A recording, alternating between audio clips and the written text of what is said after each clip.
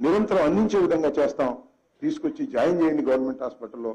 Government doctor గారికి health minister గారు కూడా అందరికీ స్టాఫ్కి చెప్పారు చాలా స్పెషల్ కేర్ తీసుకొని వారందరికీ కూడా వైద్యం చేసి ఇంటికి పంపించేంత వరకు కూడా కంటికి రెప్పలాగా ఈ ప్రభుత్వం కాపాడుతుంది.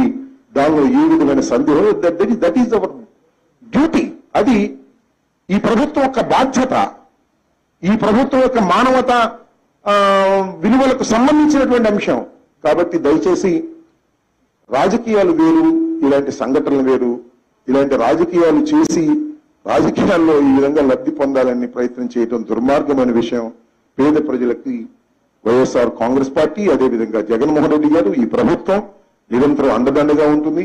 ఇంకా ఎవరో కంప్లైంట్ చేశారు ఎవరో ఇంకో పేరు రాలేదని కలెక్టర్ గారిని కోరటం జరిగింది ఆదేశించడం జరిగింది.